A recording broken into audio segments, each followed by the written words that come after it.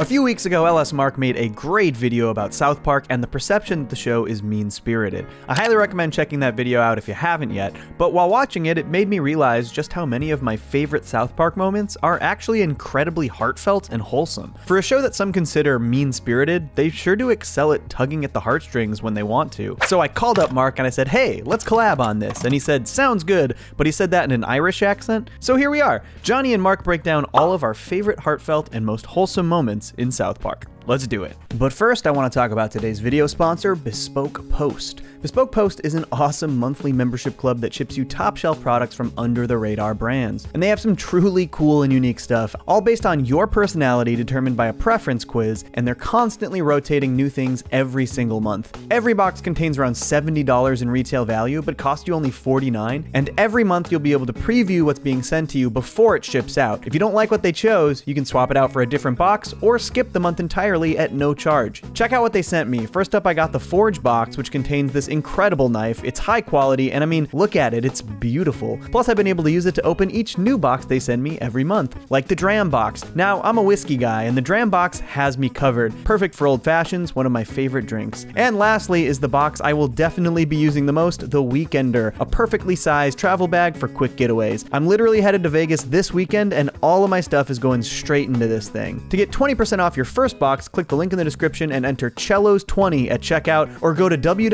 www.bespokepost.com slash cellos20. Check out Bespoke Post and order your first box today. South Park Bigger, Longer, and Uncut is probably best known for just that, being bigger, longer, and at the time, the film with the most uses of profanity in history. But despite its reputation, the film itself actually has not just one, but many incredibly wholesome moments. Ironically, they give an entire heartfelt I Want song to Satan himself as he laments his place in the world and his desire to escape hell and simply live a freeing life on Earth. There's But nothing is sweeter than Kenny's role in this film, and his ultimate sacrifice at the end. Really, the entire story revolves around Kenny, as his death is the primary inciting incident in the film. Down in hell, Kenny actually shows support for Satan as he suffers through his abusive relationship, which eventually gives Satan the courage to push Saddam Hussein out of his life by killing him. But the heartfelt moment that tops all others in this film comes right after this, when Satan tells Kenny he'll grant him one wish, anything he wants, and Kenny wishes that everything could go back to the way it was before the war and the rising of hell onto Earth. Kenny offers to save his friends and the world, even if it means that he would have to go back to hell. And then, for the first time in the series, we get a real look at Kenny's face and hear his real voice. Goodbye, you guys. This moment gets me every time.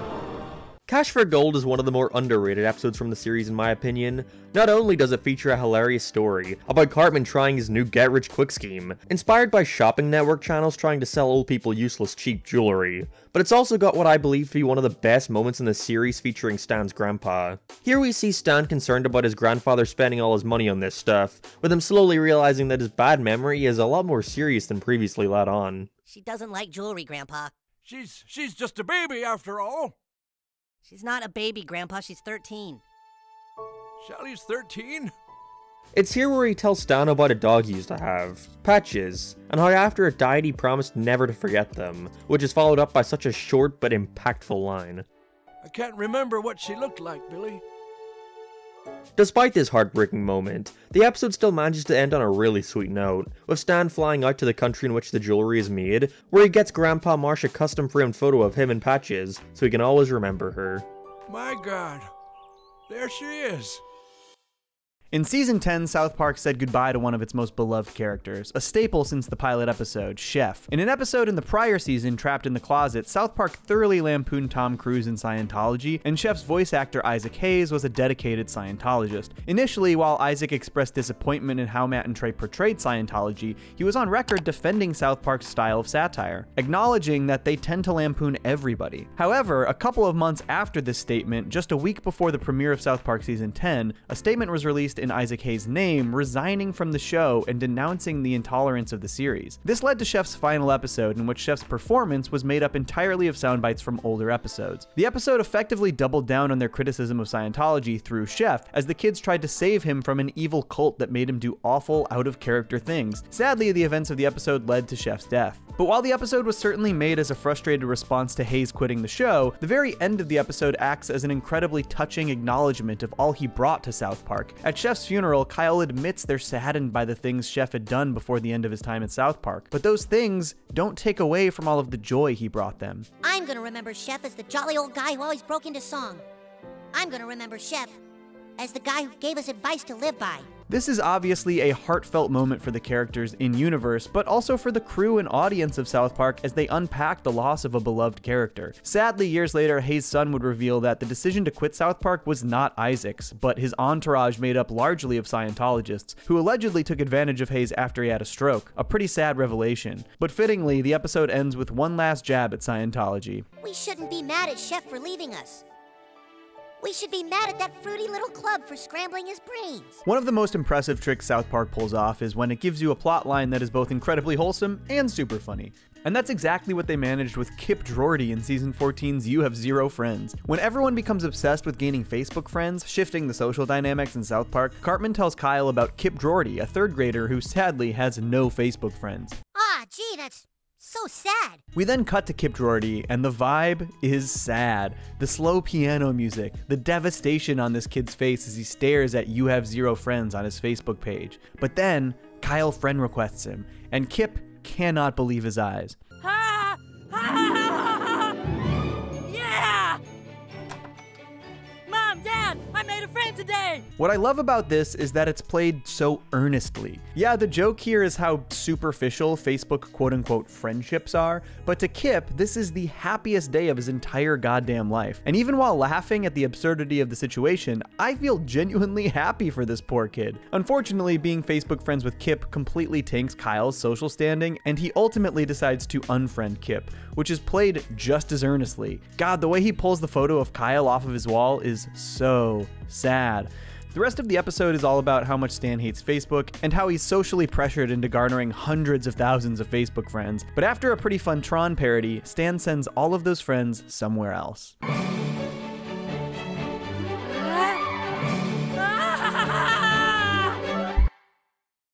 For an episode titled Ike's Wee Wee, you probably wouldn't expect it to contain any sweet moments, especially given the topic is all about circumcision. But Kyle's brother Ike is about to get one since they're Jewish, with Kyle learning about this and trying to protect his little brother. This is until he finds out the shocking truth that Ike isn't even his biological brother, being adopted from Canada. It's hard to tell, I know.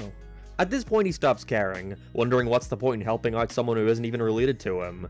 But on the day of his bris, Ike runs into Kyle's room and shows him a photo album of all the great times they've had together, showing him that even if they're not technically related, that Kyle still loves him.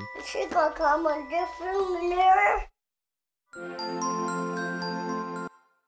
I feel like I don't see this episode get talked about nearly enough. Season 15's The Poor Kid is the only use of Kenny's alter ego Mysterion outside of the superhero focused episodes, and damn, is it an inspired concept. When Kenny and his siblings are put into a foster home, his younger sister Karen has a really difficult time adjusting. But to make her feel better, Kenny uses his alter ego to show that she has someone looking out for her. I was wondering when you'd appear. You always come when I'm sad. Okay, there are so many things I love about this. One, the fact that Kenny found such an impactful way to instill confidence in his younger sister. And two, the fact that Karen says, You always come when I'm sad, implying that Kenny has always been looking out for his sister in this way. Kenny is truly one of the best and most caring characters on this show. He even protects Karen from the school bully later in the episode. He just goes far out of his way for those he cares about. But I think the most wholesome line in the entire episode is this one. But I'm all alone now. You are not alone. No matter where you go, no matter what you do, I will always be here. Helen Keller the musical is one of the more forgotten episodes from the first couple seasons, but it's still pretty decent. What makes it better is the story Timmy goes through.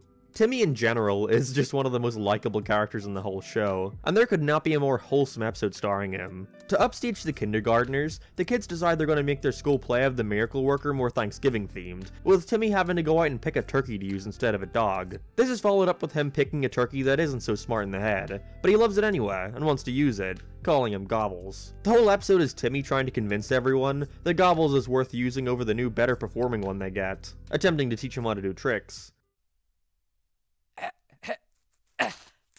Ah! There's nothing much to say other than it's just really sweet, with Timmy even jumping in front of a bullet to save him. It's quite a nice episode that also manages to be really funny.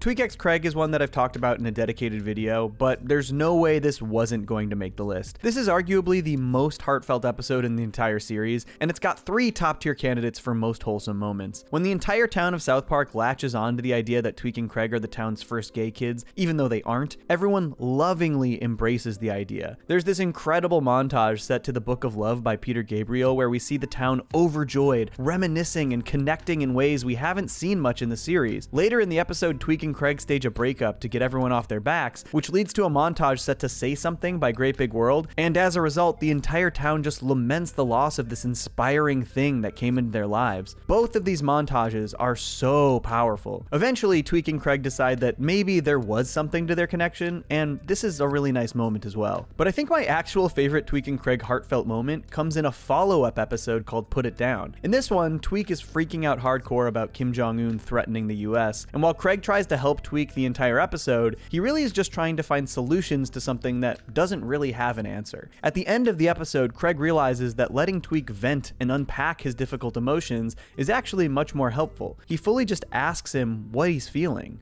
I bet it's terrible. What else are you feeling? Like, I have no control over my life. Like I'm just a pawn in a big game. By allowing Tweek to work through his own feelings, he's able to figure out what he himself can do to feel more in control of his life.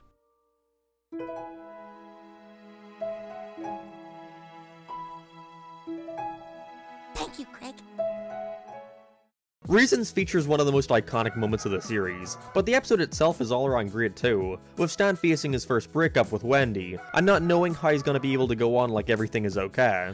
You always hear songs about a broken heart and you think it's just a figure of speech, but it's true. My chest hurts. Eventually he turns over to the Goths, wanting to wallow in his own misery and act like his life is over. However, in the B story, Butters is also experiencing his first breakup, with him being offered to join Stan and his new friends, to which he explains that he loves life, and maybe being sad sometimes isn't always a bad thing, as it can remind you of how much better the good moments are. So I have to take the bad with the good.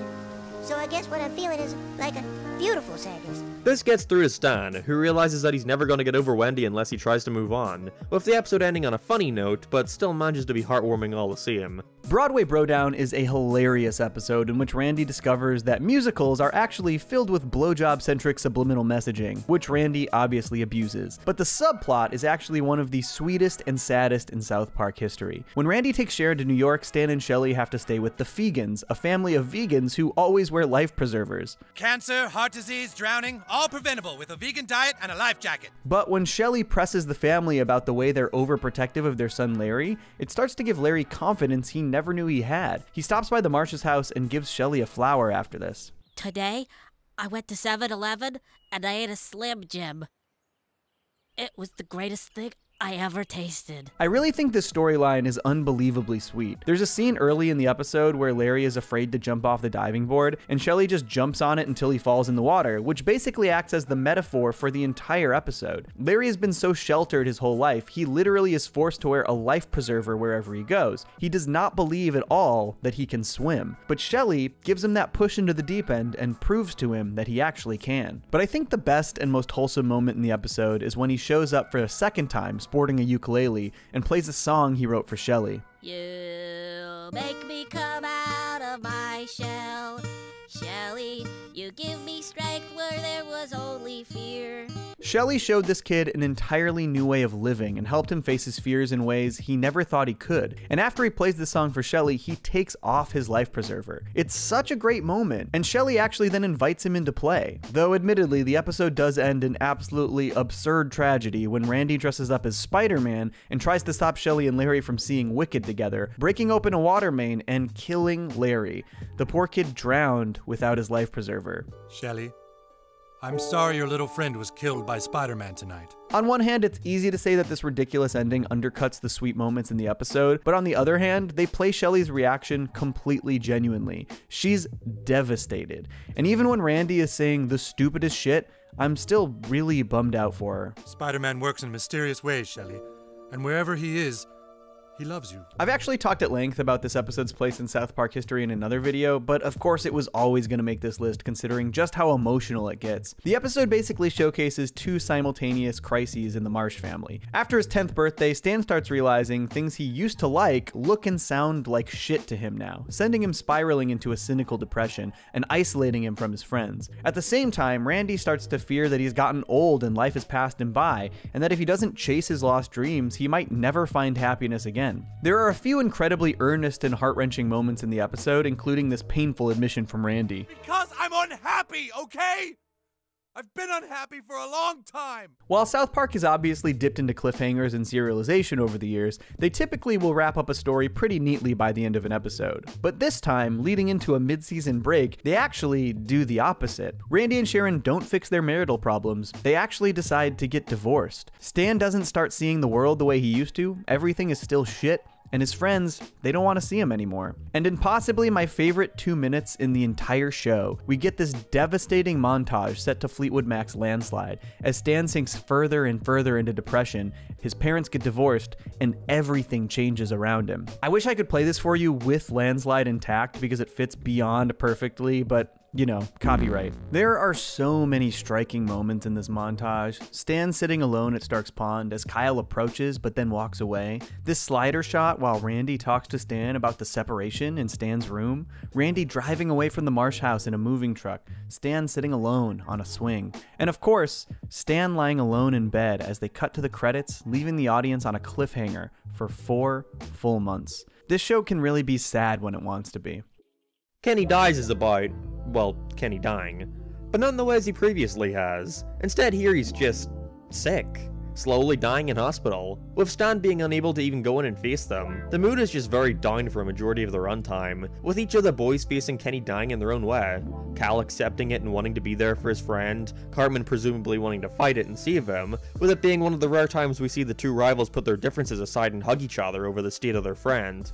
But my favorite character here is Stan, who can't even process the fact that one of his friends is about to die, since he's just a kid that's not supposed to happen to kids. They do a wonderful job at making you understand his dilemma, with him almost in denial about it, wanting to act like everything is fine.